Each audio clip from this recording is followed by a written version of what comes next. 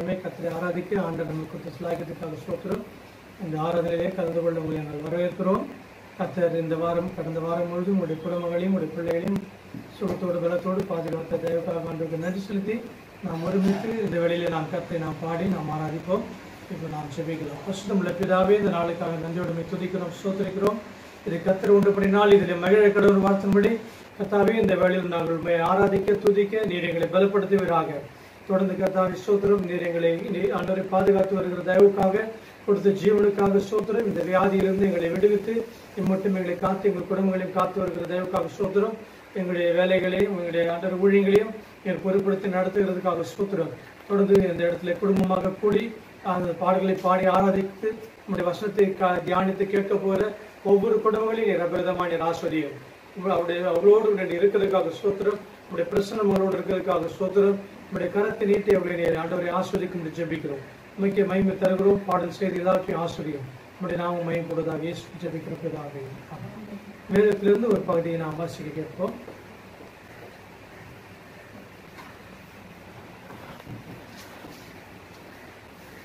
எண்பத்தி நான்காம் சங்கீதம்.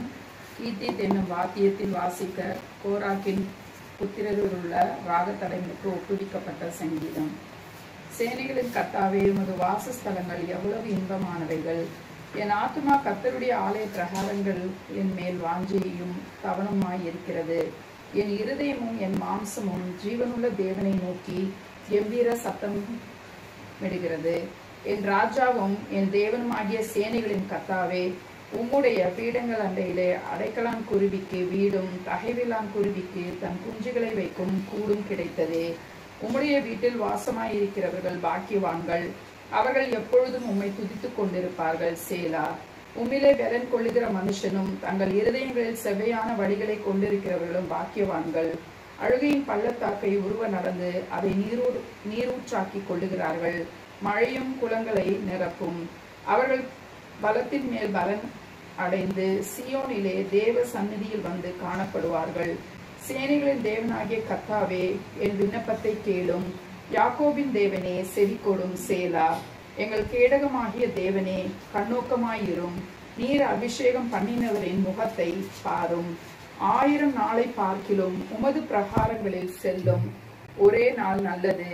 ஆகாமிய கூடாரங்களில் வாசமாய் இருப்பதை பார்க்கிலும் என் தேவனுடைய ஆலயத்தின் வாசற்படியில் காத்திருப்பதையே தெரிந்து கொள்வேன் தேவனாகிய கர்த்தர் சூரியனும் கேடகமும் ஆனவர் கத்தர் கிருபையையும் மகிமையையும் அருளுவார். உத்தமமாய் நடக்கிறவர்களுக்கு நன்மையை வழங்காதிரார்.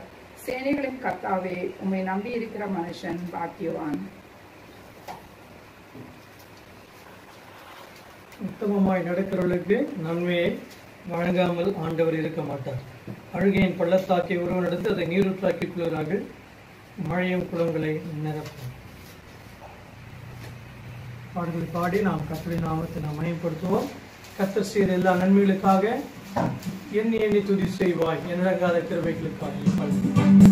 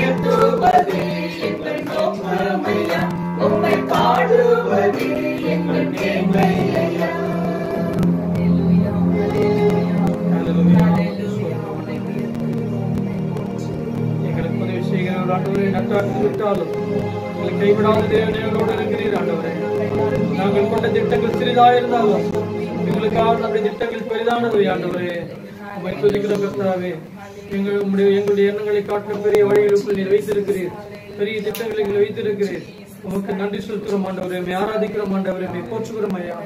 உம்மை ஆராதிக்கிறோம் ஆண்டவரே. நீர் எங்கள் அடைக்கலாம் நீர் எங்கள் துருக்கம் நீர் எங்கள் கோட்டை நாங்கள் நம்பி வந்தடையத்தக்க ஆண்டவரே எந்த சூழ்நிலையும் எப்பொழுது நாங்கள் உம்மை நம்ப முடியும் ஆண்டவரே. ஓ நம்பத்தக்க தெய்வம் நீர் ஆண்டவரே. மனமாற மனப்போத்திரன் அல்ல. ஆண்டவரை சொல்லி செய்யாதிருக்கிறவர்கள் அப்பா. சோதரிக்கிறோம் நான் சொல்லி உங்களுக்கு சொல்லி சொல்றதை செய்வோம் நான் உன்னை கைவிடுதல் சொன்ன தெய்வம் எங்களை கைவிடாமல் எங்களை மட்டும் நடத்தி வருகிற முக்கு உமக்கு சோத்திரம் நன்றி ராஜா நன்றி ராஜா நன்றி ஆண்டவரே. நன்றியோடுமே துதிக்கிறோம் நன்றியோடுமே துதிக்கிறோம் இத்தனை மாதங்கள் ஆச்சரியமாய் அற்புதமாய் எங்களை வழிநடத்தி வந்தீர்கள். துணையோக்கம் பேர் போனாலும் எங்களை உயிரோடு ஜீவோடு காத்து வந்திருக்கிறீர்கள். நாங்கள் மரணம் விளக்காக இருந்தாலும் கொல்லாப்பு பயப்படும். தேவரீர் எங்களோடு இருக்கிறீர். உமக்கு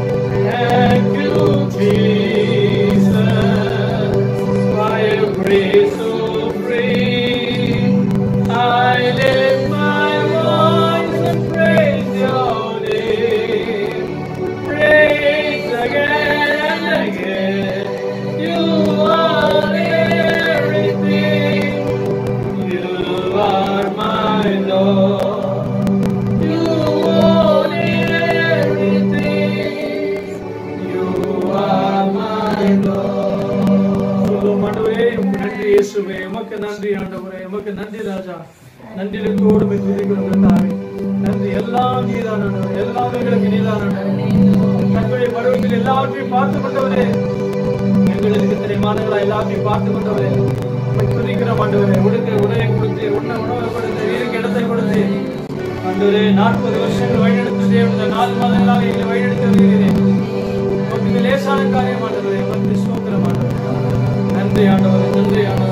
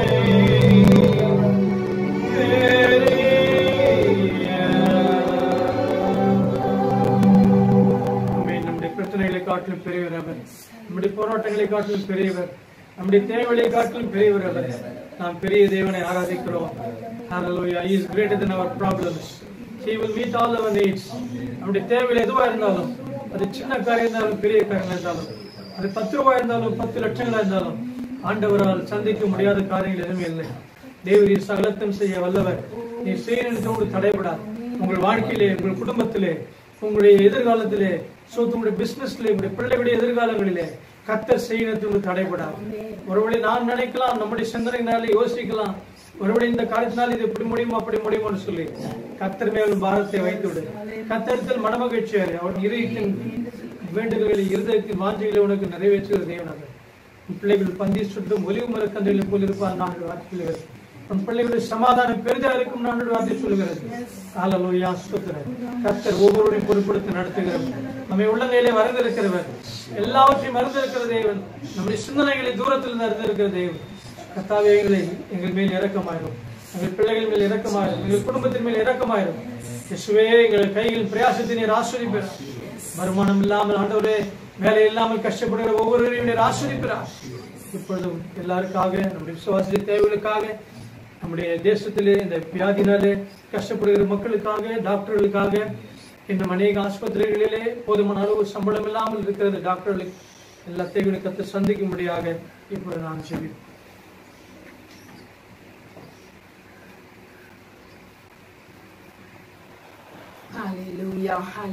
அவரை ஆராதிப்பது எவ்வளவு இன்பமும் ஏற்றதுமா இருக்கிறது ஹலேலுயா எல்லாரும் கரங்களை உயர்த்தி ஆண்டவரே நாங்கள் முழு இருதயத்தோடு ஆராதிக்கிறோம் என்று சொல்லுவோமா? நம் முழு இருதயத்தோடு முழு ஆத்துமாவோடு முழு பலத்தோடு நான் உம்மை நேசிக்கிறேன் என்று நம்மை அர்ப்பணிப்போம். எல்லாரும் முழங்கால் படியிட்டு ஆண்டவரை நோக்கி பார்த்த ஆண்டவரே நாங்கள் உம்மிடத்திலே விண்ணப்பிக்க வந்திருக்கிறோம் என்று சொல்லுங்கள். எங்களை பரிசுத்தமாக்குகிற கர்த்தர் நீர்.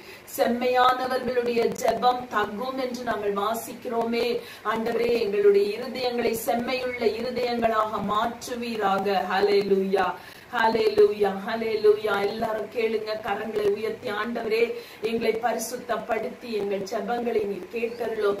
எங்களுக்கு பதில் கிடைக்க கூடாதபடி தடை பண்ணுகிற சகல சத்ருவின் கிரியைகள் ஆண்டவரே போராடுகிற ஆவிகள் எல்லாவற்றையும் இயேசுவின் நாமத்திலே நாங்கள் முறித்து போடுகிறோம். நாங்கள் இணைந்து இந்த நேரத்திலே ஜெபிக்கும் பொழுது ஆண்டவரே அதை கேட்டு அதை பதில் கொடுக்கிற தேவன் எங்களோடு இருக்கிறீர். அதற்காய் மக்கு ஸ்தோத்திரம்.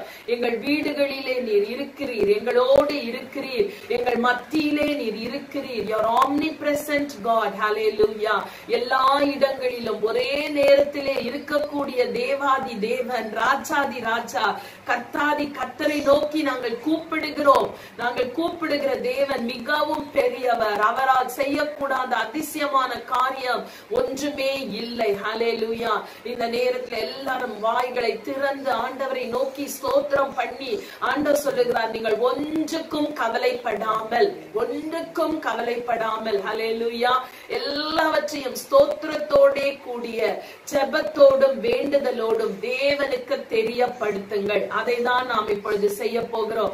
எல்லா கவலைகள் பாரங்கள் எல்லாவற்றையும் ஒரு நிமிஷம் உங்க கண் முன்பாக கொண்டு வந்த ஆண்டவரே இவைகள் எல்லாவற்றையும் உங்களுடைய சமூகத்திலே நான் அர்ப்பணிக்கிறேன். நான் ஒன்றுக்கும் கவலைப்பட மாட்டேன். சொல்லுங்க எல்லாரும் குடும்பமாய் கரத்தை பக்கத்துல இருக்கவங்க கரத்தை பிடித்து குடும்பமாய் நாம் இந்த இடத்திலே இருக்கிறோம். கரங்களை பிடித்து சொல்லுங்க நாங்கள் ஒன்றுக்கும் கவலைப்பட மாட்டோம் ஏனென்றால் நாங்கள் ஆராதிக்கிற தேவன் நாங்கள் நம்பிக்கொண்டு இருக்கிற தேவன் மிகவும் பெரியவர். அலை லூயா அலை லூயா தேவ ஆவியானவர் நம் மத்தியிலே இறங்குகிறதை உணருங்க. அவர் பிரசன்னத்தை உணர்ந்து ஆண்டவரிடத்துல சொல்லுங்க ஆண்டவரே நான் ஒன்றை குறித்தும் கவலைப்பட மாட்டேன் ஹalleluya நாங்கள் ஒன்றுக்கும் கவலைப்படாமல் எல்லாவற்றையும் ஸ்தோத்திரத்தோட கூடிய விண்ணப்பத்தோடு உம்மிடத்திலே நாங்கள் இப்பொழுது வைக்கிறோம் கத்தாவே எங்கள் குடும்பங்களை பற்றிய கவலைகள் வாரங்கள் எங்கள் வேலைகளை குறித்த வாரங்கள் எங்களுடைய பர்சனல் நீட்ஸ் எல்லாவற்றையும்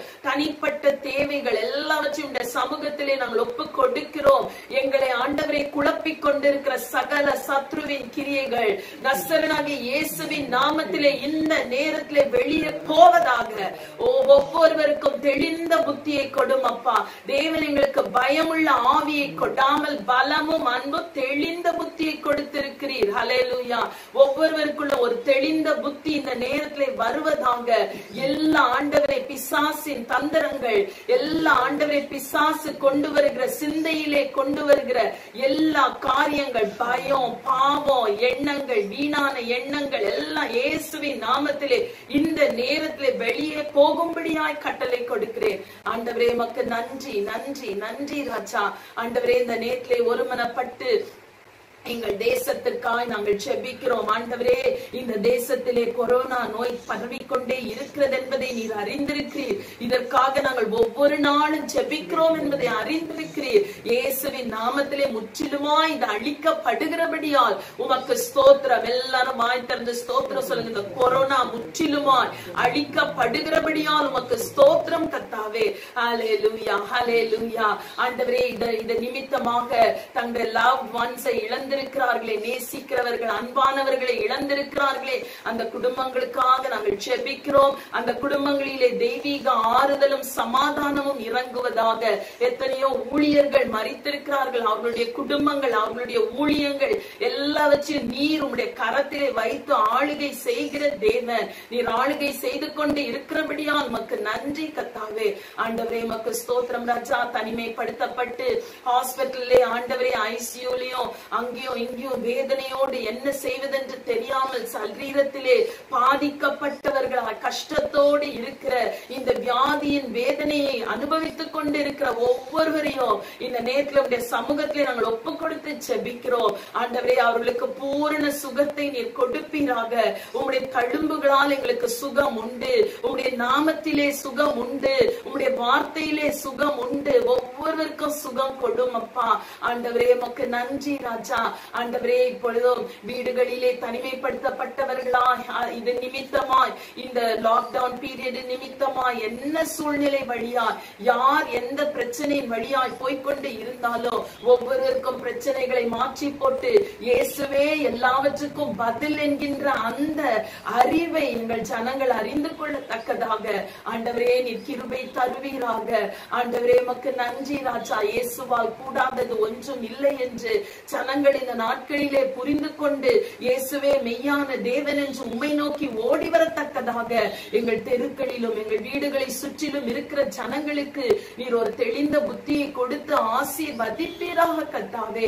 ஆண்டவரே இந்த நேரத்தில் எங்களை ஆளுகை செய்கிறவர்களுக்காக ஜெபிக்கிறோம்.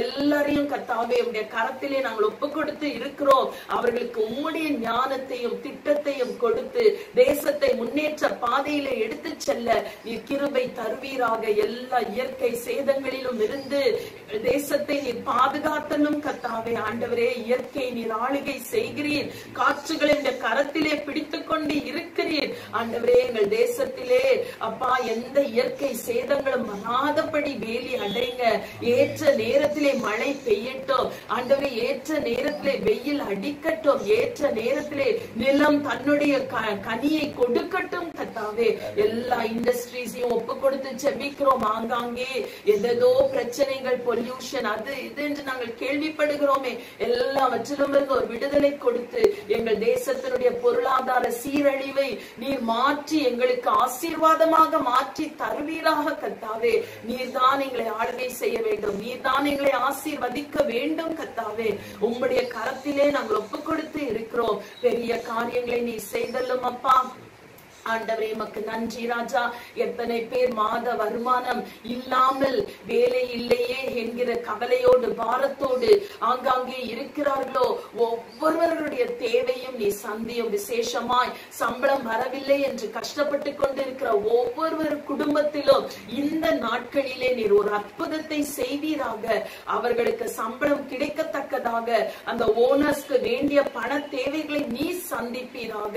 ஒவ்வொருவருக்கும் மாத சம்பளங்கள் வரவும். ஆண்டவரே தேவைகள் சந்திக்கப்படவும் நாங்கள் செபிக்கிறோம். ஆண்டவரே உமக்கு நன்றி ராஜா. உமக்கு நன்றி ராஜா. உமக்கு நன்றி. எத்தனையோ ஜனங்கள் இயேசுவை அறியாமல் ஆண்டவரே உ- அழிந்து கொண்டு இருக்கிறார்களே. அவர்கள் ஒவ்வொருவரையும் உடைய கரங்களில் நாங்கள் இப்பொழுது ஒப்பு கொடுத்து செபிக்கிறோம். அத்தனை பேரையும் ரட்சிக்க உடைய ரத்தத்திற்கு வல்லமை உண்டு. ஆண்டவரே ரட்சிக்க கூடாதபடி உடைய கரங்கள் குறுகி போகவே இல்லை கத்தாவே நீர் எல்லாரையும் ரட்சித்து உங்களுடைய வருகைக்காக எங்கள் முழு சபையையோ எங்கள் தெருக்களையும் நீர் ஆயத்தமாக்கும்படியா இந்த கரத்திலே நாங்கள் ஒப்பு கொடுக்கிறோம் அந்த உணர்வை எங்களுக்கு தாரும். எல்லாரும் ஒரு முறை கூட கரங்களை உயர்த்தி கேளுங்க. ஆண்டவரே நானும் என் வீட்டாரும் கத்தரை சேவித்து நீர் வரும் பொழுது ஒரு கூட்டம் ஆத்துமாக்களோடு உண்மை நாங்கள் எதிர்கொண்டு வரத்தக்கதாக எங்களுக்கு உம்முடைய கிருபையை தாரும். ஜபத்திலே விழித்திருக்கவும் விழித்திருந்து ஜெபிக்கவும் எங்களுக்கு வேண்டிய கிருபைகளை தந்து ஆசீர்வதிங்க கத்தாவே.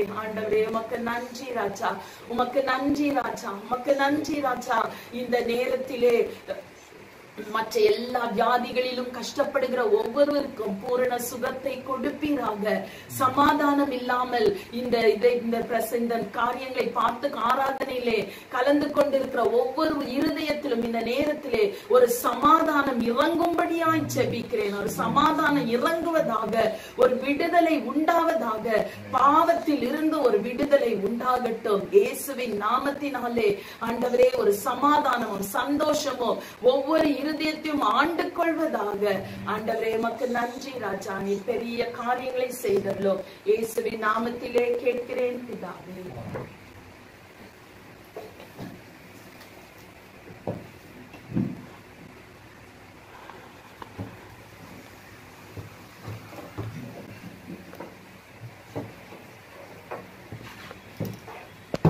ஆண்டவராய் இயேசு கிறிஸ்துவின் நாமத்திலே உங்களை வாழ்த்துகிறேன். ஹalleluya ஆண்டவர் உங்களை ஆசீர்வதிப்பார். இந்த காணொளியின் மூலம் மீண்டும் உங்களோடு சேர்ந்து ஆண்டுடைய வார்த்தையை தியானிக்கும்படியான கிருபை அன்று கொடுத்ததுக்காய் ஆண்டவர் நான் நன்றி செலுத்துகிறேன். ஹalleluya உங்கள் துக்கம் சந்தோஷமாய் மாறும்.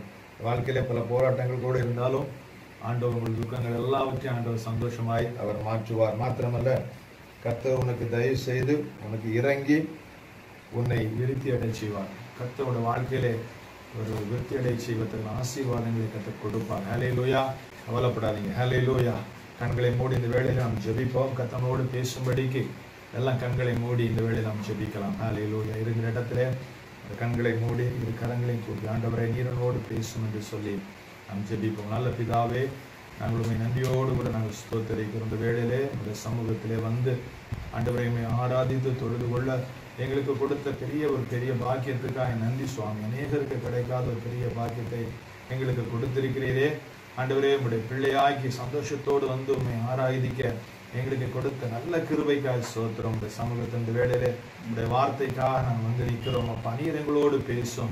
ஆண்டவரே இங்கே ஆண்டவர் தியானிக்கிற வா- வார்த்தைகள் கேட்கிற பிள்ளைയുടെ உள்ளங்களிலே உற்சாகப்படுத்தட்டும். அவளை ஆறுதல் படுத்தட்டும். அவளை தேற்றட்டும். அவளை ஆசீர்வதிக்கட்டும். பலப்படுத்தட்டும் ஆண்டவரே. கத்தரா கத்தாவே சோத்திரம் இந்த வா- வார்த்தைகளை கேட்குற ஒவ்வொரு பிள்ளைகளோட வீட்டிலும் தேவ பிரசன்னம் இறங்கட்டும். ஒவ்வொரு பிரசன்னத்தை உங்களுடைய பிரசன்னத்தை உணர்ந்து கொள்ள உதவி செய்யும். நீர் அரசு ஆவியான ஒரு அசைவாடும். நீர் மகிமைப்படும். இயேசுவின் நாமத்தில் ஜெபிக்கிறோம். ஜெபங்கள் நல்ல பிதாவே ஆமென். அலை நம்ம எடுத்துக்கொள்ளலாம். யோவான் பதினாலாவது அதிகாரம். பதினெட்டாவது வசனம். எடுத்துக்கொள்ளலாம். யோவான் எழுதின சுவிசேஷம்.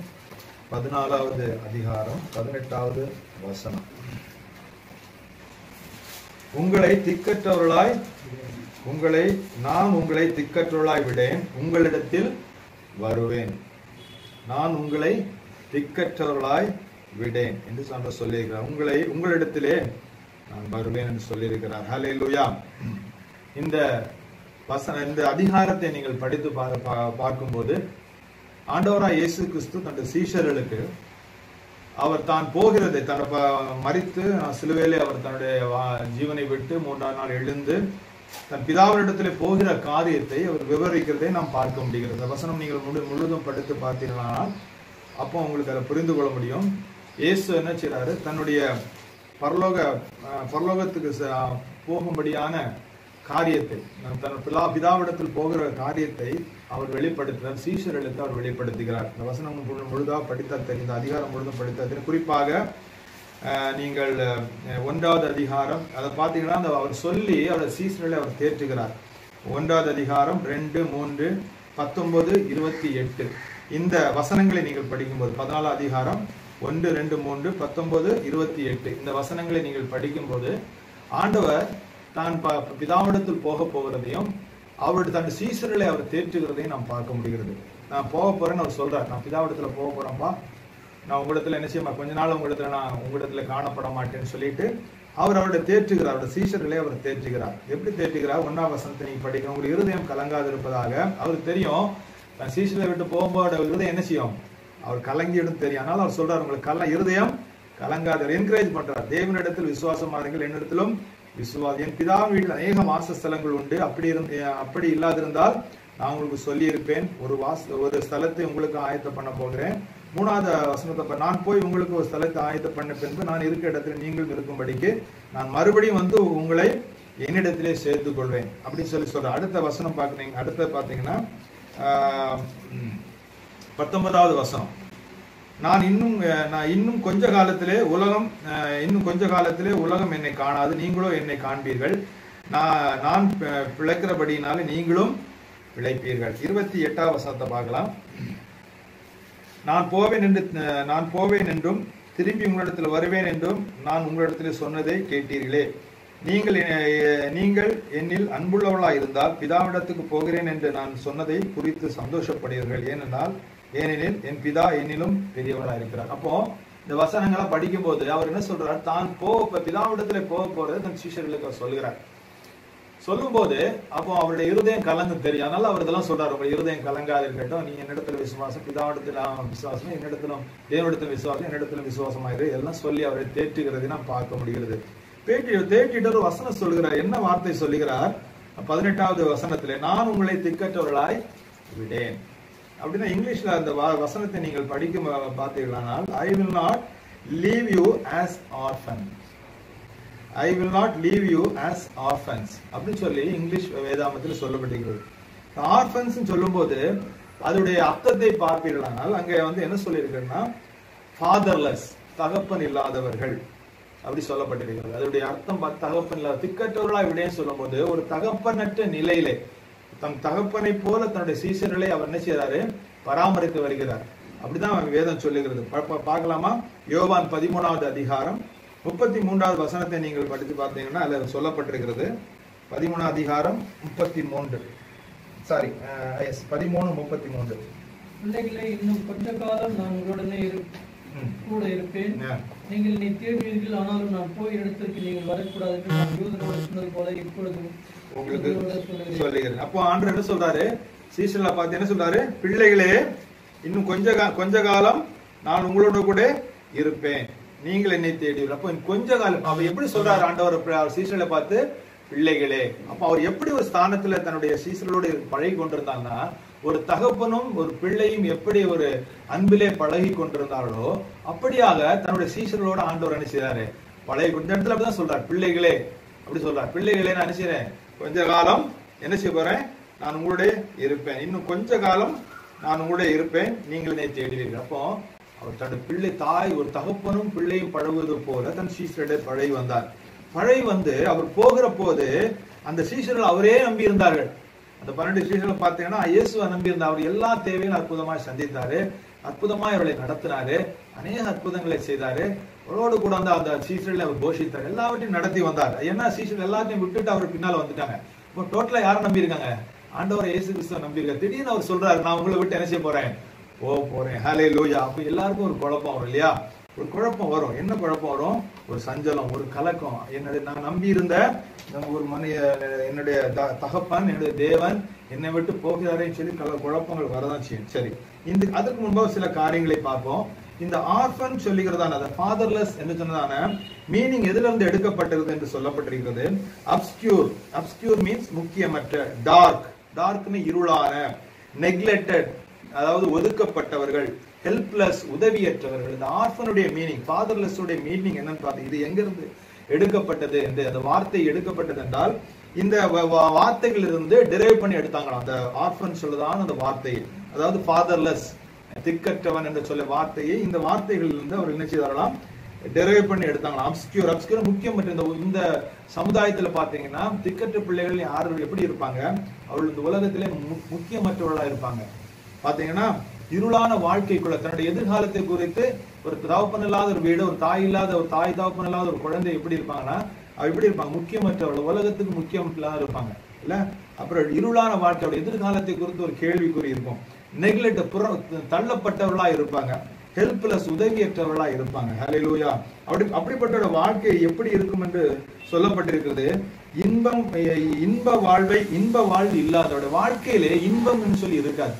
நான் அநேக இந்த ஆர்ஃபனேஜுக்கு போயிருக்கிறேன். ஆதரவற்ற குழந்தையுடைய அஹ், இடத்திலே நாங்கள் எங்களுடைய கம்பெனி ஸ்தாபமாக முன்பாக நான் போகிறது ஆறு மாசத்துக்கு ஒரு முறை நாங்கள் சென்று அந்த அந்த ஆர்ஃபனேஜில் அதாவது ஆதரவற்ற குழந்தைகள் இருக்கிற இடத்துக்கு நாங்கள் கடந்து சென்று அவளுக்கு சில காரியங்களை நாங்கள் செய்வதுண்டு. அப்படிப்பட்ட சூழ்நிலைகளிலே அங்கே நான் அந்த குழந்தைகளை பார்க்கும்போது மிகவும் சங்கடமா இருக்கும். எப்படின்னா அவருடைய முகத்துல எப்போ ஒரு ஏக்கம் இருந்துகிட்டே இருக்கும். ஏதோ தன்னை பறிகொடுத்த மாதிரி ஒரு ஏக்கம் அந்த குழந்தையுடைய வாழ் முகத்துல இருக்கும். ஏதோ ஒரு பெரிய ஒரு ஏதோ இழந்தது மாதிரி ஒரு ஃபீலிங் அவங்களுடைய முகத்துல ஒரு சோகம் இருந்துகிட்டே இருக்கும். அது குடும்பமா நம்ம போனோம்னா இன்னும் அவங்களுக்குள்ள ஒரு ஒரு ஒரு ஒரு உணர்வை நம்ம பார்க்க முடியும். தன் தாய் தகப்பனோட நம்ம நம்ம குடும்பமாக போய் அந்த பிள்ளைகளை நம்ம பார்க்கும்போது அந்த பிள்ளைகள் நம்மளை பார்க்கும்போது அந்த பிள்ளைகளுக்கு ஒரு தகப்பன் இல்லை தாய் இல்லைன்னு சொல்லும்போது ஒரு ஏக்கத்தோடு பார்க்கறது நான் பார்த்து நான் பார்த்துருக்கிறேன். மாத்திரம் சில இடங்கள்லாம் பார்த்தீங்கன்னா ஆர்ஃபனேஜில் அந்த ஆதரவற்ற குழந்தைகளை அடிப்பார்கள். அந்த குழந்தைய சேட்டை பண்ணும்போது பிறம்பெடுத்து அடிப்பாங்க. அதெல்லாம் நான் பார்த்துருக்கிறேன். அப்போ நான் யோசனை பண்ணிக்கிறேன். தாயின் தகப்பன் இருந்தால் யாரோ ஒரு மனிதன் அவனை அடிக்க முடியுமா? ஆனால் அந்த பிள்ளைகள் பாவம். அது சின்ன பிள்ளைகளுக்கு தெரியாது. சேட்டை பண்ணும்போது சின்ன பிள்ளைகளுக்கு தெரியாது. அடிப்பாங்க. அந்த பிள்ளைகள் வர வேதனைகள் பார்க்கும்போது அதெல்லாம் நிச்சயமா தனியா போய் அழுதும் என் தாய் தோப்பன் இருந்தா என்ன இது மாதிரி அடிப்பாங்களான்னு சொல்லி இந்த குழந்தைகள் நிச்சயமா ஒரு ஏற்க இருக்கும். அப்படிப்பட்ட சூழ்நிலை இருந்ததுதான் ஆதரவற்றவர்கள் சொல்லியிருக்கு அவரோட வாழ்க்கையில என்ன இருக்காதா இன்பமான வாழ்க்கை இருக்காது. சரியான வாழ்க்கைக்கு வழி தெரியாதவர்கள் ஆதரவற்றவர்கள் மாத்திரம் பெரும் துயம் வருத்த அஹ் பெரும் துயர் வருத்தம் நிறைந்தவர்கள். வாழ்க்கையில பெரும் துயரம் இருக்கும் வருத்தம் நிறைந்தவர்களா இருப்பாங்க. வியாதி உள்ளவர்களா இருப்பாங்க. பாவத்துக்கு உட்பட்டு மரணத்தை சந்திப்பவர்களா இருப்பாங்க. அநேக இன்னைக்கு குற்றம் பண்ணுகிறவர்கள்லாம் பாத்தீங்கன்னா அவருடைய வாழ்க்கையில கைட் பண்ண ஆள் இல்லை.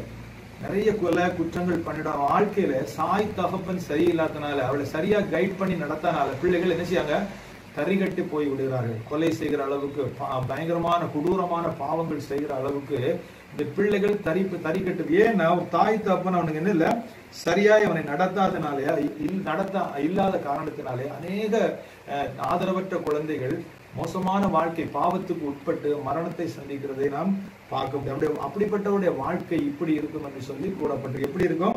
இன்ப வாழ்வு இல்லாதவர்கள் சரியான வாழ்க்கைக்கு வழி தெரியாதவர்கள் ஆதரவற்றவர்கள் பெரும் துயம் வருத்தம் நிறைந்தவர்கள் வியாதி உள்ளவர் பாவத்துக்கு உட்பட்டு மரணத்தை சந்திப்பவர்கள். இப்படிதான் அவருடைய வாழ்க்கை இருக்கும் திக்கற்றோடைய வாழ்க்கை. ஆனா ஆண்டவர் சொல்றாரு நான் போப்பறேன் சொல்லிட்டு அவர் அழகா சொல்றாரு நான் உங்களை என்ன செய்யறேன் திக்கற்றவர்களாய் விடேன் ஹலே லூயா ஹலே லூயா நம்முடைய ஆண்டவர் எவ்வளவு பெரிய நல்ல ஆண்டவர் பார்த்தீங்களா? அவர் என்ன செய்ய எப்போதும் நம்மளை என்ன செய்ய மாட்டாரு? திக்கற்றவர்களாய் ஒரு ஃபாதர் ஒரு தன்னுடைய தகப்பனை இழந்த ஒரு பிள்ளைகளை நம்மளை அப்படியே கைவிட்டுட்டு போற ஆண்டவர்ல. நம்மளை நேசித்து நம்மளை ஆதரித்து நடத்துகிற ஆண்டவர் நம்மளோடு கூட எப்போதும் இருக்கிற ஆண்டவர். ஹலே லூயா துயரமான நேரத்திலும் சரி துக்கமான நேரத்திலும் சரி நெருக்கமான தே- நேரத்தில் இருளான நேரத்திலும் நமக்கு கூட இருந்து நமக்கு உதவி செய்து ஆதரவு அளிக்கிற ஒரு நல்ல தகப்பன். ஹலே லூயா இந்த உலகத்துல நமக்கு ஆதரவு இல்லாத ஒரு சூழ்நிலை நம்ம இருக்கலாம். அவ்வளவு நம்மளோட வாழ்க்கையில தகப்பனும் தாய் இல்லாம இருக்கலாம். ஆனால் ஆண்டவர் நமக்கு ஒரு நல்ல தகப்பனாய் நல்ல ஒரு தாயா இருந்து நம்மளை ஆதரித்து அவர் நடி- வழிநடத்த அவர் போதுமான ஆண்டவர். ஹலே லூயா அப்படிப்பட்ட நிலைமையில தான் அந்த சீசன் இருந்தாரு ஏன் அப்படி பாத்தீங்கன்னா இந்த வசனத்தை நீங்க படித்து பாருங்கள். அந்த பதினாலாவது பதினேழாவது அதிகாரம். சாரி பதினாலு அதிகாரத்துல ஐந்தாவது வசனத்தை நீங்க படித்தேன்னா தோமாக்கு அப்படிதான் ஒரு குழப்பம் வந்தது. என்ன வந்துச்சு? அவர் தகப்பனை போல ஆண்டவரை இயேசு கிறிஸ்துவை நம்பி இருந்த அந்த சீசனாகிய தோமா ஆண்டவரை பார்த்து கேட்கிறாரு கேட்கிறாரு ஆண்டவரே நீங்க போகிற இடத்தை அறியோமே வழியை நாங்கள் எப்படி அறிவோம்? அப்போ ஒரு தகப்பன் அவனை விட்டு அவரை ஒரு பிள்ளையை விட்டு போகும் போ- போறேன்னு சொல்லும்போது இயற்கையா ஒரு மனுஷனுடைய வாழ்க்கையில வருகிற குழப்பம் தான் எல்லாமே உண்மையை நம்பி இருந்தேன் என் வாழ்க்கையை நான் உம்மிடத்துல ஒப்பு கொடுத்திருந்தேன். என் வாழ்க்கையை உண்மை நம்பி தான் இருக்கு. இப்ப நீ போறேன்னு சொல்றதே என்னுடைய எதிர்காலம். எப்படி இருக்கு? என்னுடைய இருளான வாழ்க்கையில எனக்குள்ள இருளான இடத்துல நீ என்ன கொண்டு விட்டுக்கிட்டு போறேன்னு சொல்லி ஒரு மனக்குழப்பம் நிச்சயமா அந்த தோமாக்கு இருந்திருக்கும். அந்த தோமா அதனாலதான் தோமா சொல்றாரு என்ன சொல்றாரு? ஆண்டவரே நீங்க போகிற இடம் இடத்தை அறியோமே வழியையும் நாங்கள் எப்படி அறிவோம் என்று சொல்றாங்க அப்படிப்பட்ட குழப்பமான சூழ்நிலையில அவர் வந்துட்டார். ஹலே லூயா இங்கு கூட நம்ம அநேகருடைய வாழ்க்கையில் அப்படிதான் இருக்குதுல்ல ஒரு குழப்பமான சூழ்நிலை. எங்க இருக்கு எங்க போக போறோம்? என்னுடைய வாழ்க்கை என்ன?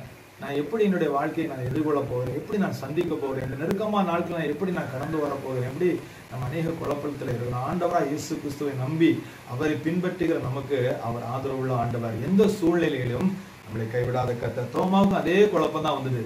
ஹலே லூயா நான் என்ன செய்வேன்? நீர் எங்க போறேன்னு சொல்றதே எங்க போறேரு நீர் எங்க போற எந்த இடத்துல அது வழி என்னன்னு அவன் கேட்கிறான். ஒரு குழப்பத்துல கேட்கிறான். ஒன்றும் புரியல அவருக்கு. ஆண்டர் சொன்னது அவர் சீசருக்கு புரிந்து கொள்ள முடியல. எல்லா இடத்துல போறேன் சொன்னோன்னு அவனுக்கு அவங்களுக்கு ஒண்ணுமே புரியல. என்ன செய்வதுன்னு தெரியாம தோம கேட்கிறார் இந்த சூழ்நிலை நான் என்ன செய்வேன் ஆண்டவரே? என்னது? நீர் போகிற இடத்தை?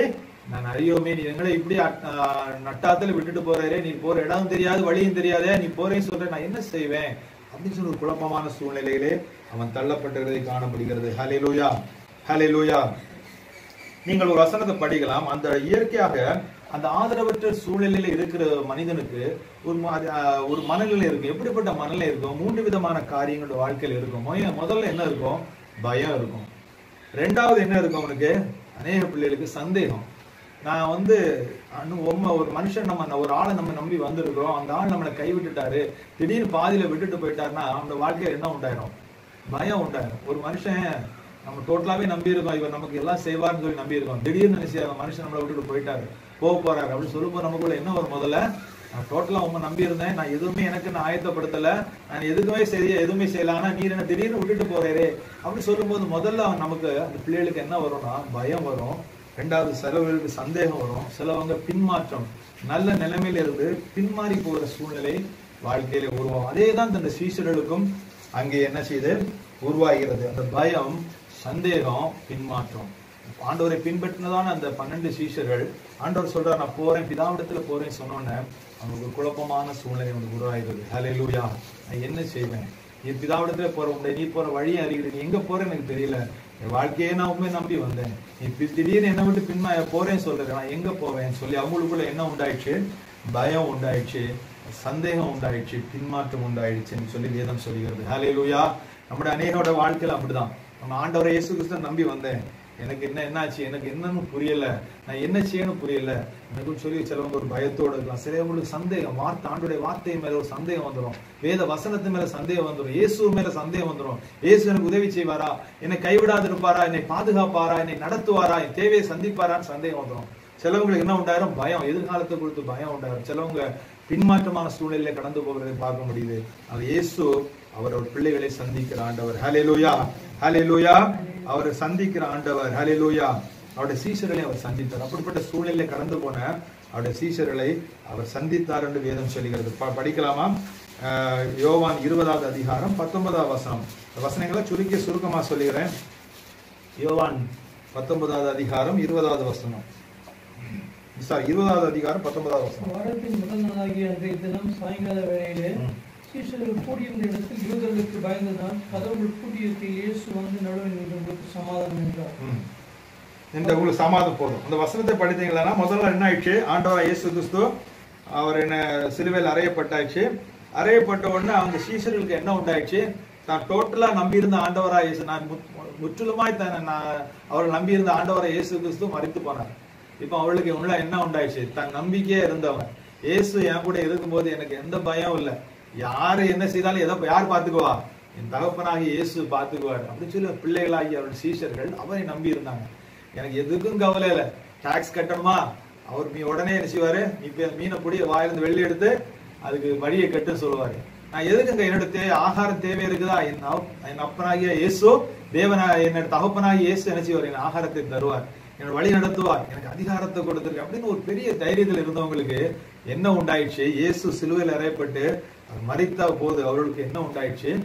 பயம் உண்டாயிடுச்சு. வேதம் அப்படிதான் சொல்லுது பத்தொன்பதாவது வசனத்தை நீங்க படிக்கிறனால் வாரத்தின் அவர் மறித்த சிலுவையில துவங்கி அந்த வேலையில வாரத்தின் முதல் நாளாகிய அன்றைய தினம் சாயங்கால வேலையில மூன்றாவது கா- நாள் காலையில. அப்ப என்ன ஆயிடுச்சு? அவளுக்கு அன்றைய தினம் சாயங்கால வேலையிலே சீஷர்கள் கூடியிருந்த இடத்தில் யூதர்களுக்கு பயத்தினால் கதவுகளை பூட்டி இருக்க இயேசு வந்து நடுவே நின்று உங்களுக்கு சமாதானம் தந்தார். அவர்கள் என்ன செய்யற அவள் வாழ்க்கையில பயம் உண்டாயிடுச்சு. என்னது? இயேசுவை நம்பி நான் வெளியே தைரியமா யூதர்களுக்கு மத்தியில் நடந்து கொண்டிருந்தேன். யூதர்கள்லாம் எதிர்ப்பு தெரிவிச்சாங்க. ஆனாலும் நான் யாரை நம்பி பின்னால் போயிட்டு இருந்தேன்? இயேசுவை நம்பி நான் பின்னால போயிட்டு இருந்தேன். அவருக்கு பின் சென்று நல்ல ஒரு சீஷனா நடந்திருந்தேன். இன்னைக்கு இயேசு எனக்கு போயிட்டாரு? இயேசு கடந்து போயிட்டாரு. என்ன விட்டுட்டு போயிட்டாரு. இப்ப நான் என்ன செய்வேன்? இந்த தூதர்கள்லாம் சேர்ந்து என்ன என்ன செய்ய போறாங்க? உதைக்க போறாங்க எல்லாம் என்ன அடிக்க போறாங்க இல்லை என்ன கொலை செய்ய போறாங்கன்னு ஒரு பயம் உண்டாயிடுச்சு. பயம் உண்டாயி அவர்கள் என்ன செய்தார்கள்? கதவை மூடி இருக்கையில் இயேசு வந்து நடுவே நின்று உங்களுக்கு அவர் மூன்றாம் நாள் உயிர்த்தெழுந்து என்ன செய்தாராம்? அவர்கள் பயந்திருந்த இடத்துல வந்து அவர்களை சந்தித்தார். ஹலே லூயா ஹலே லூயா அவர்களுக்கு சமாதானம் என்றார். உனக்கு பயம் உன்னோட வாழ்க்கையில பின்மாற்றம் அடைந்து வா- நம்முடைய வாழ்க்கையில பயம் வரும்போது அவர் நம்மளை சந்திக்கிற ஆண்டவர். அந்த சீசர்களும் அப்படிதான். தன் வாழ்க்கையில பயம் உண்டாயிடுச்சு. கதவை அடைத்து யூதர்களுக்கு பயந்து கதவை அடைத்து வீட்டுக்குள்ள உட்கார்ந்துருந்தாங்க. இயேசு கடந்து வந்தார். ஹalleluya கடந்து வந்து அந்த ஜ- அந்த சீசர்களை பார்த்து அவருக்கு சமாதானம் உங்களுக்கு சமாதானம் என்றார். ஹalleluya ஹalleluya அவருக்கு தெரியும். என் பிள்ளைகள் என்ன செய்யும்?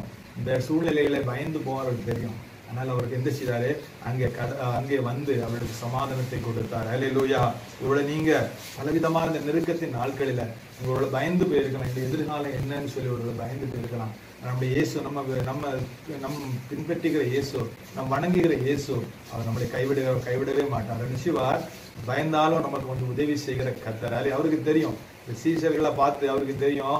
அந்த சீசர்கள் அப்படிதான் இருப்பார்கள். ஆனால் நம்மளே ஆண்டவர் அறிந்திருக்கிறார். அவரோட நீங்க பயந்திருப்பீர்களானால் நிச்சயமா ஆண்டவர் உங்களுக்கு வந்து உதவி செய்வார். அல்ல அவரை நாம் தேடும் போது அவர் நமக்கு என்ன செய்வாராம் உதவி செய்வார். நம்மளை வந்து நம்மளை ஆதரித்து நம்மளை பலப்படுத்துவார். சங்கீதம் ஐம்பத்தி ஆறாவது அதிகாரம் மூணாவது வசனத்தில் அவர் படி படிக்கும் போது சொல்லப்பட்டிருக்கிறது நான் பயப்படுகிற நாளிலே உண்மை நம்புவேன். தாவி சொல்றாரு நான் பயப்படுகிற நாளிலே உண்மை நம்புவேன். நம்முடைய வாழ்க்கையில பயம் வரும்போது யாரை நம்ம நம்பணும்? இயேசுவை நம்பணும். அலையிலோயா அவர் எப்போதும் கைவிடுகிற ஆண்டவர் நம்மளை ஆதரிக்கிற ஆண்டவர் நம்மளை பலப்படுத்துகிற ஆண்டவர். ஏசாயா நாற்பத்தி மூன்றாவது அதிகாரம் ஒன்றாவது வசனத்தை நீங்க படித்து பாருங்க. அதில் சொல்லப்பட்டிருக்கிறது பயப்படாதே உன்னை மீட்டு கொண்டேன் உன்னை பேர் சொல்லி அழைத்தேன் நீ என்னுடையவன். ஹalleluya நான் உன்னை பேர் சொல்லி அழைச்சேன். பயப்படாத நான் உன்னை மீட்டு கொண்டேன் நான் உன்னை ரட்சித்திருக்கிறேன். நீ யாரு? என்னுடையவன். ஹalleluya அவருடைய பிள்ளைகளை பார்த்து இயேசு சொல்றாரு நீ உலகத்துள்ள உலகத்தான் அல்ல நீ என்னுடையவன். நான் உனக்கு எப்போதும் உன்னை ஆதரவு உனக்கு ஆதரவு செய் ஆதரவு அளிப்பேன். உனக்கு நான் உதவி செய்வேன். நீ கலங்குற நேரத்துல பயப்படுற நேரத்துல நான் உன்னை தேற்றுவேன். ஹalleluya நீங்க பயந்திருக்காதீங்க. கர்த்தர் உங்களை நிச்சயமாய் தேற்றுவார். இயேசு நம்மளை கைவிடுகிற ஆண்டவர் இல்ல அந்த சீசர்கள் சோர்ந்திருக்கிற வேலையிலே இயேசு கட- அஹ் அவங்க கடந்து சென்று அவளை சந்தித்தார் என்று சொல்லுகிறது. அலே லூயா அவர் நம்மளை தேடி வந்து சந்திக்கிற ஆண்டவர். நம்மளுடைய பயத்தை போக்கும்படியாய் அவர் நம்மளை தேடி வந்து சந்திக்கிறவர். ஹலே லூயா ஹலே லூயா ரெண்டாவது பார்க்கலாமா? சந்தேகம் அவர் வந்து இரண்டு இருபதாவது அதிகாரம் யோவான் இருபது இருபத்தி ஆறுல இருந்து இருபத்தி எட்டு. இது முதல் முறை ஆண்டர் சந்திச்சிருக்கிறார். அவர் ஆக்சுவலா பாத்தீங்கன்னா மரணம் பற்றி உயிர் திறந்தோடனே பிதாவிடத்துல போனோம். ஆனா அவர் பிதாவிடத்துல உடனே போகல. என்ன செய்தாரு? தன் சீசர்களை தேற்றும்படியாய் அவர் மூன்று முறை தன்னுடைய சீசர்களை சந்தித்தார். அலே லூயா ஹலே லூயா அவர் எவ்வளவு நல்ல ஆண்டவர். சொல்லிட்டாரு நான் போறேன்னு சொல்லிட்டாரு. ஆனா அவருக்கு மனசு இல்ல போறதுக்கு ஏன் மனசு இல்ல என் பிள்ளைகள் தவிப்பார்களே அவருக்கு தெரியும் போல இருக்கு. ஹலே ஆக்சுவலாக பார்த்தா அவர் உயிர் திறந்த உடனே அவர் பிதாவிடத்தில் அவர் போன உடனே. ஆனால் அவர் என்ன சொல்லலை? அவர் என்ன செய்யலை? அவர் உடனே போகல. ஏன் போகல? அவருக்கு தெரியும் தன் பிள்ளைகள் தவிக்கும் சரி. நான் திடீர்னு விட்டுட்டு வந்துட்டேன்.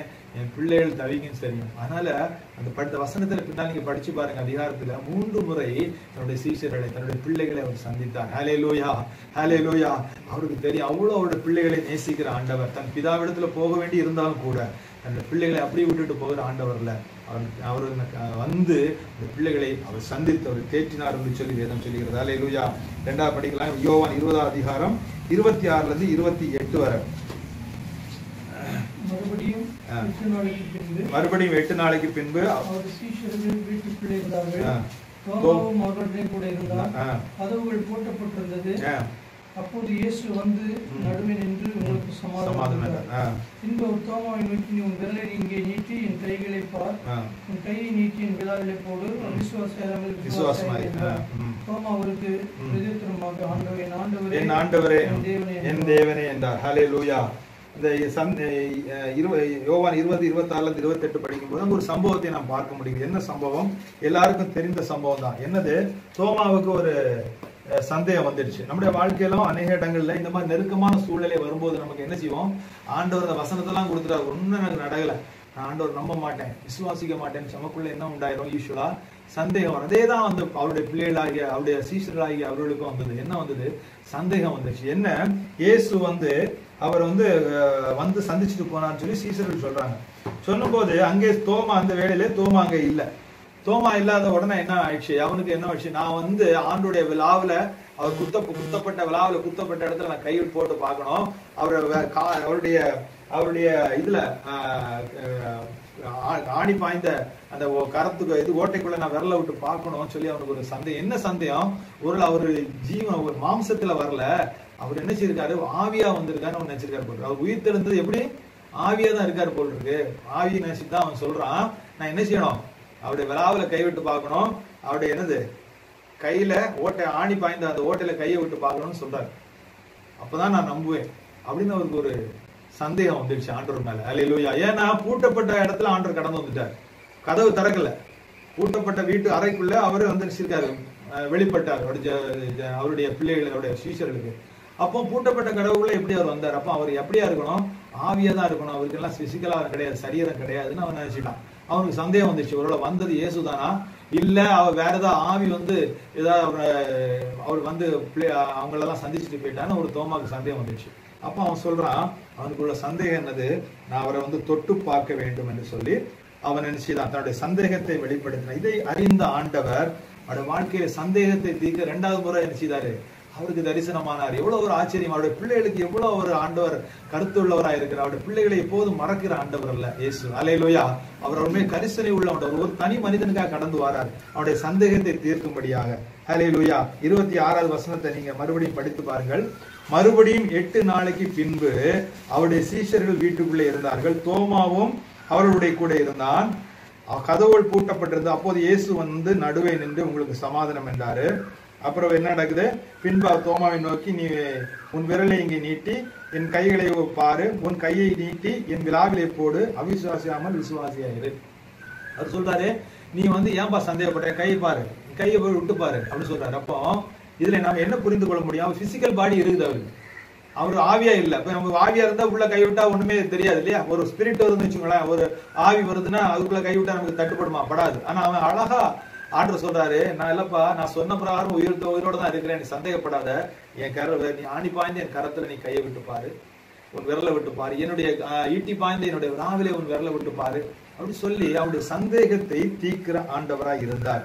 அவருக்கு அத்தோமா தோமா அவருக்கு பிரயோத்திரமாக என் ஆண்டவரே என் தேவனே என்றான். ஹலே லூயா இந்த வசனத்தை பார்த்தீங்கன்னா இந்த இந்த வசனம் இருபத்தி எட்டாவது வசனத்தை பார்த்தீங்கன்னா இயேசுவை தேவன் என்று சொல்லி அநேக இடங்களில் கூறப்பட்டிருக்கு வேதத்திலே கூறப்பட்டிருக்கிறது. ஆனால் முதல் முறையாக டைரக்டா ஒரு மனிதன் இயேசுவை பார்த்து தேவனேன்னு சொல்லுது. இந்த இடத்துல தான் குறி- குறிப்பிடப்பட்டிருக்கிறது. ஹலே லூயா அந்த பாக்கியம் யாருக்கு தான் கிடைச்சது?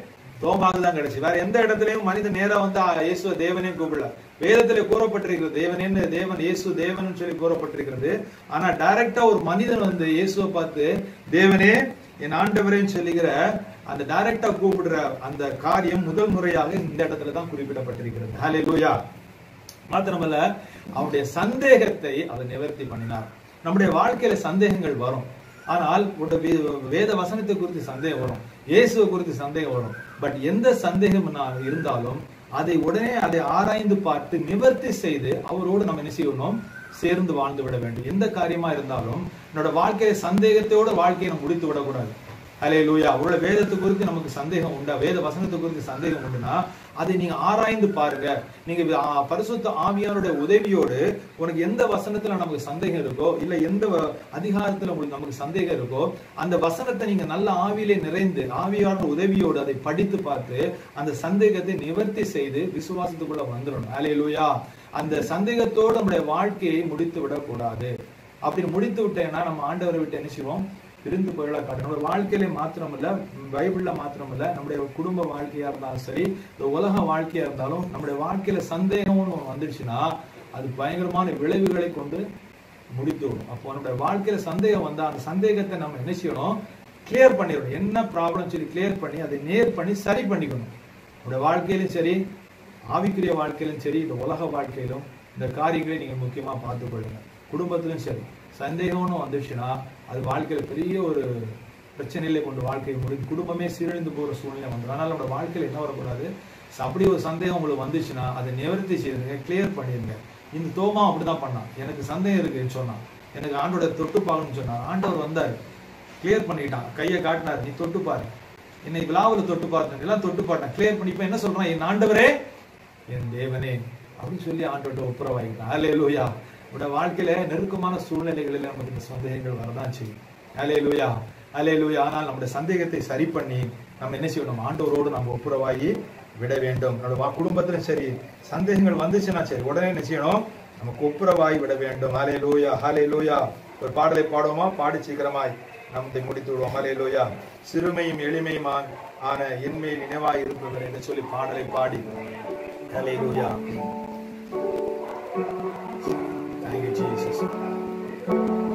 சிறுமையும் எளிமையும் ஆன என்னை நினைவாயிருப்பவரே எந்தலனும் நீரே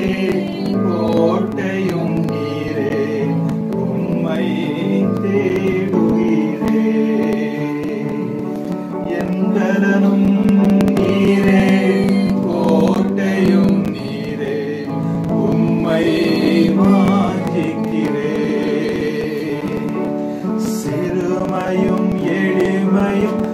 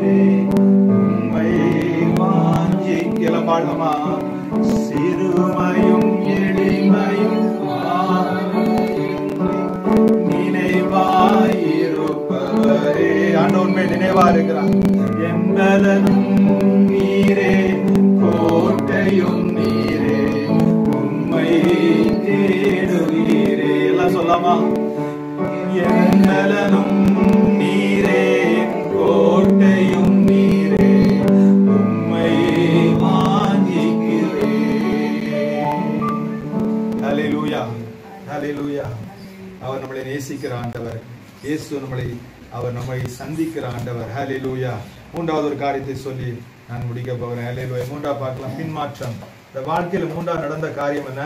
பின்மாற்றம். யோவான் இருபத்தி ஒரு அதிகாரம் மூன்றாம் வசனத்தை நாம் பார்க்கலாம். யோவான் இருபத்தி ஒன்று மூன்று. சீமோன் பேதர் மற்றவர்களை நோக்கி மீன் பிடிக்க போகிறேன் என்றான். அதற்கு அவர்கள் நாங்களும் உம்மோடு கூட வரி வருகிறோம் என்றார்கள். அவர்கள் புறப்பட்டு போய் உடனே படகில் ஏறினார்கள். அந்த ராத்திரியிலே அவர்கள் ஏ அவர்கள் ஒன்றும் பிடிக்கவில்லை. ஹலே லூயா இந்த வசனத்தை நீங்கள் படிக்கும்போது உங்களுக்கு தெரியும்.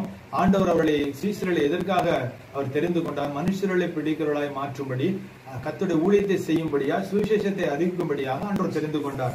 ஆனால் சீமான் பேருடைய வாழ்க்கையிலே அவனை எப்படி அவனோட ஆண்டரே ஒரு வார்த்தை சொல்றார்? இந்த கல்லின் மேல் சபையை கட்டுவேன் பாதாளத்தின் வாசல்கள் மேற்கொள்வதில்லைன்னு சொல்லி அவன் மேல் ஒரு பெரிய ஒரு நம்பிக்கையை வச்சு இந்த வார்த்தை ஆண்டவர் சொல்றார்.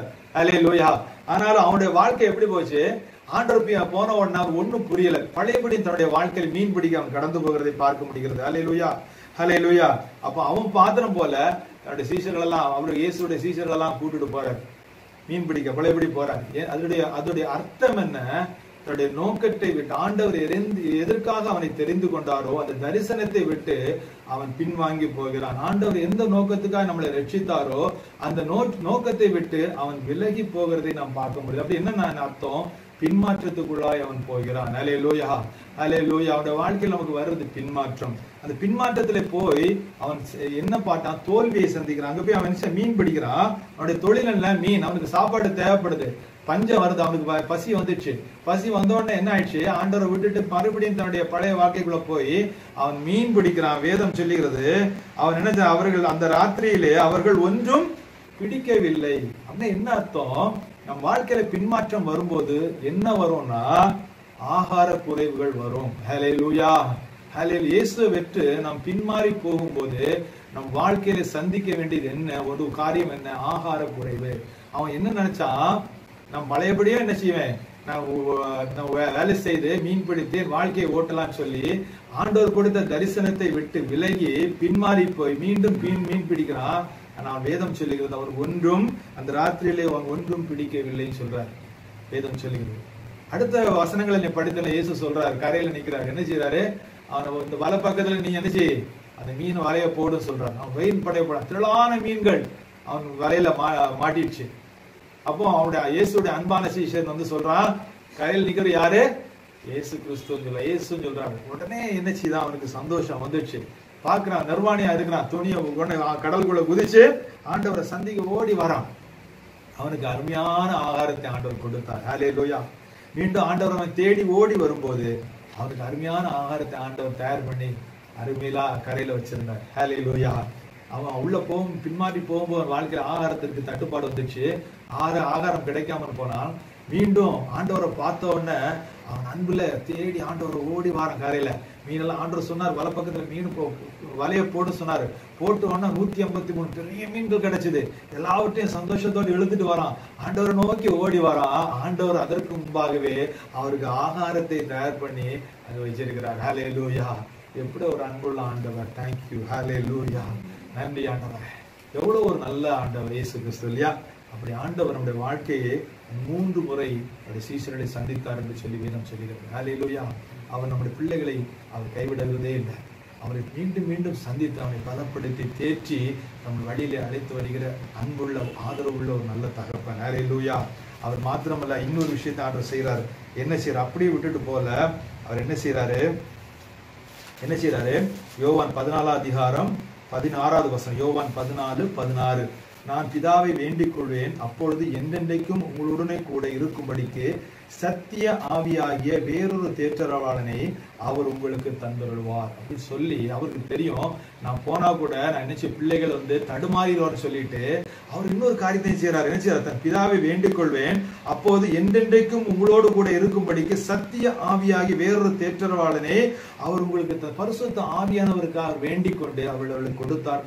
அப்போ சிலர் இரண்டாவது அதிகாரம் ஒன்றாவது வசனத்துல இருந்து நாலாவது வசனத்துல நீங்க பார்த்து படிப்பீர்களானால் அங்கே சொல்லப்பட்டிருக்கு என்ன சொல்லப்பட்டிருக்குது? அவள் மேல மேல் வீட்டில் உட்கார்ந்து ஜோம் பண்ணும்போது பரிசுத்த ஆவியான அபிஷேகம் அவள் மேல் இறங்கிச்சு அப்போ அவர் போகும்போது அப்படி யாரையும் கைவிட்டுட்டு போறது அவளுக்கு என்னென்ன செய்யணுமோ அந்த காரியங்களை அவர் செய்துவிட்டு அவர் பரலோகத்துக்கு கடந்து செல்ல நம்ம ஆண்டவர் அப்படியே ஆதரவற்றவர்களாய் அவருடைய பிள்ளைகளை ஆதரவற்றவராய் விட்டு விடு விட்டு விடுகிற ஆண்டவர் அல்ல. ஹலே லூயா அவன் எந்தெந்த சூழ்நிலைகளில் அவன் இருக்கிறானோ அந்த சூழ்நிலைகளில வந்து நம்மளை சந்திக்கிற ஆண்டவர். உங்களுக்கு இவ்வளவு சூழ்நிலை எனக்கு தெரியாது. உங்களோட வாழ்க்கையில் காணப்படுற சூழ்நிலை எனக்கு தெரியாது. ஆண்டவரை இயேசு கிறிஸ்துக்கு தெரியும். அவர் அந்த சூழ்நிலையிலே கடந்து வந்து நம்மளை சந்திக்கிற ஆண்டவர். இந்த சூழ்நிலையில அவர்களுக்கு பயம் உண்டாயிடுச்சு சந்தேகம் உண்டாயிடுச்சு பின்மாற்றம் உண்டாயிடுச்சு. அந்த மூன்று காரியங்களிலும் ஆண்டவர் பரலோகத்துக்கு போகும் முன்பாக அந்த காரியங்களை அவர்களுக்கு நிவர்த்தி பண்ணி தன்னுடைய ஒரு த- அந்த தன்னுடைய சீஷர்களுக்கு அவளுக்கு என்ன தேவையோ எல்லா காரியங்களையும் செய்து விட்டு தான் அவர் கடந்து போனார். நம்முடைய வாழ்க்கையிலும் நம்முடைய வாழ்க்கையில் என்ன குறை உங்களுடைய வாழ்க்கையில் என்ன குறை இருக்குன்னு தெரியாதானால் அப்படியே விட்டு விடுகிற ஆண்டவர் அல்ல. நம்ம என்ன காரியங்கள் இருந்தாலும் என்ன குறைவுகள் இருந்தாலும் என்ன வாழ்க்கையில பிரச்சனைகள் போராட்டங்கள் இருந்தாலும் அவர் நம்மளுக்கு நம்மிடத்துல வந்து நமக்கு உதவி செய்து நம்மளை தேற்றுகிற ஆண்டவர். ஹலே லூயா ஹலே லூயா மத்த இருபத்தி எட்டாவது அதிகாரம் இருபதாவது வசனத்தை நீங்க படித்தீங்கன்னா இதோ உலகத்தின் முடிவு புரிந்தோம். சகல நாட்களில் நான் உங்களோடு கூட இருக்கிறேன் என்றால் நம்மளோடு கூட ஒவ்வொரு நாளும் உலகத்துல முடிவு புரிந்த ஒவ்வொரு நாளும் நம்மளோடு கூட இருக்கிற ஆண்டவர். ஹலே லூயா ஹலே லூயா ஹலே லூயா மாத்திரமல்ல யோவான் பதினாறு அதிகாரம் இருபதாவது வசனம் சொல்லுது உங்கள் துக்கம் சந்தோஷமாய் மாறும். எந்த வாழ்க்கையில துக்கங்கள் வாழ்க்கையில் இருந்தாலும் அவர் எல்லாவற்றையும் அவர் சந்தோஷமாய் மாற்றுகிற கர்த்தர். ஹலே லூயா கண்களை மூடி இந்த வேலை நாம் ஜெபிப்போம். ஹலே லூயா தேங்க்யூ ஜீசஸ் ஹலே லூயா ஹலே லூயா ஆண்டவரே நான் இருக்கிற இடத்துல இந்த கண்களை மூடி நாம் ஜெபிப்போம். ஹலே ஆனால் உங்களை திக்கற்றலாய் விடேன் என்று சொன்னவர். அங்கிடத்துல வருவேன் என்று சொன்னவர். அப்படியே போய்விடுகிற ஆண்டவர் அல்ல நம்முடைய ஆண்டவர். இயேசு நம்மளை சந்திக்கிற ஆண்டவர். ஹalleluya எந்த சூழ்நிலையில் இருந்து கொண்டிருந்தாலும் அந்த சூழ்நிலை க- வந்து அவர் நம்மளை சந்தித்து நம்மளை தேற்றுகிறவர். லூயா எவ்வளோ நல்ல ஆண்டவரை நாம் தொழுது கொண்டிருக்கும் நினைச்சு பாருங்க. ஹalleluya நமக்காய் அவர் சிறுவேலை ஜீவனை கொடுத்து இரத்தத்தை சிந்தி எல்லாவற்றையும் நமக்காய் இழந்த கர்த்தர் மாத்திரமல்ல அவர் எந்த சூழ்நிலையில நீ இருந்தாலும் அப்படியே விட்டுட்டு மறந்துட்டு போற ஆண்டவர் இல்ல அவர் எந்த சூழ்நிலை இருந்த அந்த சூழ்நிலையில நம்ம இடத்துல வந்து நம்மளை தேற்றுகிற ஆண்டவர். சீஷர்கள் மூன்று விதமான சூழ்நிலை கடந்து சென்றார்கள். சந்தேகம் பயம் பின்மாற்றம் அப்படிப்பட்ட மூன்று சூழ்நிலைகளிலே சீஷர்கள் கடந்து சென்ற போது அந்த மூணு சூழ்நிலைகளை இயேசு அங்க வந்து இருந்து அவளை சந்தித்து அவளை தேற்றி பலப்படுத்தி என்ன தரிசனத்துக்காக அவளை ரட்சித்தாரோ அந்த தரிச- தரிசனத்தை அவள் மூலம் அவள் மூலம் நிறைவேற்றத்தக்கதாக அவளை தேற்றி நடத்துகிறான். நம்மளையும் அவர் கைவிட மாட்டார். இவ்வளவு க- கடுமையான சூழ்நிலையில துக்கமான சூழ்நிலை இறுக்கமான சூழ்நிலை நெருக்கமான சூழ்நிலையில் கடந்து கொண்டு கடந்து போய் கொண்டிருக்கலாம். இன்னும் இயேசு உங்களை கைவிடுகிற ஆண்டவர்கள் அந்த சூழ்நிலையிலே அவர் வந்து நம்மளை தேற்றுவார் உங்களை தேற்றுவார் உங்களை பலப்படுத்துவார். எந்த தேவையா இருந்தாலும் அற்புதமாய் சந்திப்பார். நெருக்கத்திலிருந்து விடுதலை கொடுப்பார். கண்களை மூடி நம் செபிப்ப ஆண்டவரே உமக்கு சோத்திரண்டு நாங்கள் மூன்று காரியங்களை கண்டு படித்த ஆண்டவரே தியானித்த ஆண்டவரே நீர் எந்த சூழ்நிலையும் சீசர்களை கைவிடலை. நாங்களும் உங்களுடைய பிள்ளைகள் ஆண்டவரே. நாங்கள் இப்போது பலவிதமான நெருக்கமான சூழ்நிலை நான் கடந்து போய் கொண்டிருக்கிறோம். ஆண்டவரே இந்த சூழ்நிலைகளில் எங்களை கைவிடாத ஆண்டவர். நாங்கள் அப்படிப்பட்ட ஒரு ஜீவனுள்ள ஆண்டவரை நாங்கள் தொழுது கொள்ளுகிறோம் என்று விசுவாசிக்கிறோம் ஆண்டவரே. ஹலே லூயா எந்த சூழ்நிலை வந்தாலும் எங்களை கைவிடாத ஒரு ஜீவனுள்ள ஆண்டவரை நாங்கள் தொழுது கொள்ளுகிறோம் என்று நம்புகிறோம் ஆண்டவரே. இந்த சூழ்நிலைகளில் நாங்கள் கடந்து வருவோம் என்று சொல்லி நாங்கள் விசுவாசிக்கிறோம். எங்களுக்கு கூட இருந்து நீ எங்களை ஆதரவு செய்து எங்களை பலப்படுத்தி நீ நடத்த போகிறதுக்காக நன்றி சுவாமி. இந்த இருளான காரியங்கள் எங்களுக்கு விடுதலை கொடுத்து இதை தாண்டி வர எங்களுக்கு உதவி செய்ய போகிறதுக்காக மக்கள் நன்றி. எங்களுக்கு ஆதரவா இருந்து எங்களை நீதி வலக்கரத்திலே தாங்கி நடத்த போகிறதுக்காக எமக்கு நன்றி செலுத்துகிறோம். நீரே மகிமைப்படும் அப்பா. எல்லா துதிக்கான மகிமை ஆவற்றும் மக்கே தெரிகிறோம். இந்த வாரம் முழுவதும் ஆண்டவரே உம்முடைய கிருவை ஒவ்வொரு பிள்ளைகளையும் தாங்கட்டும். தேவைகள் சந்தியும் ஆசீர்வதியும் சுகத்தை கொடும் பலத்தை கொடும் நல்ல பாதுகாப்பை கொடுங்க ஆண்டவரே. எந்த தேவையா இருந்தாலும் அற்புதமாய் சந்தியும். நீரே மகிமைப்படும். எல்லா மகிமை துதிகன யாவற்றும் மக்கே தருகிறோம். மீட்பு ரட்சகருமான இயேசுவின் நாமத்தில் ஜபிக்கிறோம். ஜபங்கள் நல்ல பிதாவே. சுத்தமுள்ள பிதாவே நீர் எங்களோடு பேசின வார்த்தைகளுக்காக ஸ்தோத்திரம். ஒவ்வொரு விசுவாச குடும்பங்களையும் நீர் திக்கத்திலாக விடையன்னு சொல்லி இருக்கிறீர் ஆண்டவரே. உடைய தேவைகள் எல்லாவற்றையும் சந்திக்க போதுமான இருக்கிறீர். எந்தெந்த காரியங்களுக்காக பயந்திருக்கிறவர்களோ அந்த பூட்டப்பட்ட அறையில் சீஷர்கள் பயந்த போது வந்த ஆண்டவர். நீர் நீ இப்பொழுது ஒவ்வொரு வீடுகளிலும் நீ கடந்து போய் அற்புதங்களை மதிசயங்கள் செய்ய முடியும் ஜெபிக்கிறோம். வியாதியா இருந்தால் சுகத்தை கட்டியாட முடியும் ஜெபிக்கிறோம். பலவீனப்பட்ட சரீரத்திலே நம்முடைய பலன் இறங்க முடியும் ஜெபிக்கிறோம். நீரே பரிகரை கத்த சுகத்தை கொடுக்கும்படி ஜெபிக்கிறோம். வேலை இல்லாமல் வருமானம் இல்லாமல் ஆண்டு பல மாதங்கள் வீட்டில் இருக்கிற ஒவ்வொருக்காக ஜெபிக்கிறோம். தொடர்ந்து கத்தாவே வேலை வாசலை திறந்த வாசலை திறந்து கொடுக்கும்படி ஜெபிக்கிறோம். வேலை பார்க்கிற இடங்களை உங்களுக்கு கூப்பிட்டு வேலை கொடுக்க உதவி செய்வராக. வருமானத்தை சம்பளத்தை குறைத்திருக்கிற இடங்களிலே சம்பளம் கூட்டப்பட உதவி செய்வராக. நாமத்தை மேம்படுத்த ஒவ்வொரு விசுவாச தேவையை சந்திப்பிறாக சமாதானத்தை சுகத்தையும் கட்டிடும். முக்கிய மகிமை தருகிறோம். அண்டவரே நீர் ஆண்டவரே ஒரு தகப்பனை போல நீர் நன்றாக சீஷர்களுக்கு சமைத்து கொடுத்தது போல என்றைக்கும் நீர் எங்களை போஷிக்கிற தேவன் ஆண்டவரே. எங்கள் தேவைகள் எல்லாம் சந்திக்க போதுமான ஆண்டவரே. சிங்கக்குட்டிகள் தாழ்ச்சியடைந்து பட்னியா இருக்கும் கத்தரை தொடர்களுக்கு ஒரு நன்மையும் குறைவிடாதபடி ஒரு குறையும் இல்லாதபடி இம்மட்டும் நீர் எங்களை வழிநடத்தின தேவன். இந்த தேவன் என்னென்னும் உள்ள சதாகள் நம்முடைய தேவன். மரணப்படுத்தி நம்மை நடத்த நடத்தும்படி கடைசி மட்டும் எங்களை காக்க வல்லவரையும் துதிக்கிறோம். எல்லா மகிமையும் நீர் எடுத்துக்கொள்ளும். இயேசு ஜெபிக்கிறோம் பிதாவே. நாத்துமாவே கத்ரி சோத்ரி என் முழு நாமத்தை சோத்ரி நாத்துமாவே கத்ரி சோத்ரி அவர் செய்த வருவாங்க நம்முடைய கத்தரா இயேசு கிறிஸ்துவ கிருபையும் பிதாவாகிய தேவனுடைய அன்பு பரிசுத்தோடைய ஐக்கியம் ஆசிர்வாதம் வழிநடத்தும் நம்ம நிறவோடு கூட நம்முடைய தேசத்தோடு கூட நம்முடைய குடும்பங்களோடு கூட நம்முடைய நாட்டிலும் வீட்டிலும் ஆண்டவர் அற்புதம் செய்து காப்பாராக God bless சில அறிவிப்புகள் இருக்கிறது நமக்கு இந்த ஐம்பது நாட்டு ஜெபம் ஆகஸ்ட் பதினேழு வரைக்கும் தொடர்ந்து ஜெபியுங்கள் டிவியில் அந்த ஜெபங்கள் நடந்து கொண்டிருக்கிறது பிரதர் ஜிபிஎஸ் ராபின்சன் அவர்கள் அந்த இதை நடத்தி கொண்டிருக்கிறார்கள். தம் மற்ற ஊழியர்களும் சேர்ந்து கலந்து கொள்ளுங்கள். அதே போல வெள்ளிக்கிழமை பதினோரு மணிக்கு பெண்கள் ஐக்கிய கூட்டம் பெண்கள் ஆராதனை இருக்கும். தவறாமல் கலந்து கொள்ளுங்கள். நீங்களும் பாருங்கள். மற்றவர்களை சப்ஸ்கிரைப் பண்ண சொல்லுங்கள். இந்த செய்தியை நீங்கள் கேட்டு மற்றவர்களுக்கும் நீங்கள் உங்களுடைய ஃபோனை கொடுத்து உதவி செய்யும்படி அன்பாக கேட்கிறேன். ஏன்னா சிலர் டச் ஃபோன் இல்லாமல் சாதாரண பட்டன் ஃபோன் வச்சுருக்காங்க. நிறைய விசுவாசிங்க.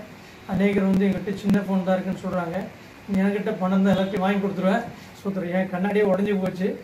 நான் போயிட்டு கண்ணாடி கடையில் போன போது கண்ணாடி கொடுத்துட்டேன் அந்த ஃப்ரேமை மாற்றணும்னு சொல்லிட்டாங்க.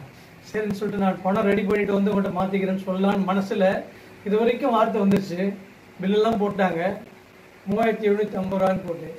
சரின்னு சொல்லிட்டு மனசு ஜெபம் பண்ணாண்டரு. இந்த கண்ணாடிக்கு பணத்தை தாருன்னு சொல்லி. அந்த ஓனரை வந்து பாஸ்டர் நான் உங்களுக்கு ஒன்றுமே செய்யல. இந்த சூழ்நிலையில் இந்த மூவாயிரத்தி எழுநூற்றி ஐம்பது என்னுடைய காணிக்கை வச்சுங்கன்னு சொல்லி ஃப்ரீயாக போட்டு கொடுத்தாருமே எனக்கு கண்ணாடி. இல்லைன்னா இன்றைக்கி பைபிளோட வாசிருக்க முடியாது ஒழுங்காக பார்த்துருக்க முடியாது கீபோர்டு வாசித்திருக்க முடியாது. ஆண்டவர் அப்படி எப்படிலாம் அற்புதம் செய்கிறார் ஆண்டவர் இன்றைக்கும் நல்லவர் கத்த நல்ல ருசித்துப்பார்கள் பாருங்கள் அவர் மேல் நம்பிக்கையாக இருக்கிற மனுஷன் பாக்கியம் ஆண்டவர் உங்களை ஆஸ்வதிப்பார் நம்ம ஒவ்வொருடைய வாழ்க்கையிலும் ஆண்டவர் அற்புதம் செய்கிறவர். விசுவாசிக்கும் போது ஆண்டவர் அற்புதம் செய்கிறவர். கத்தனை உங்களை ஆஸ்வதிப்பார்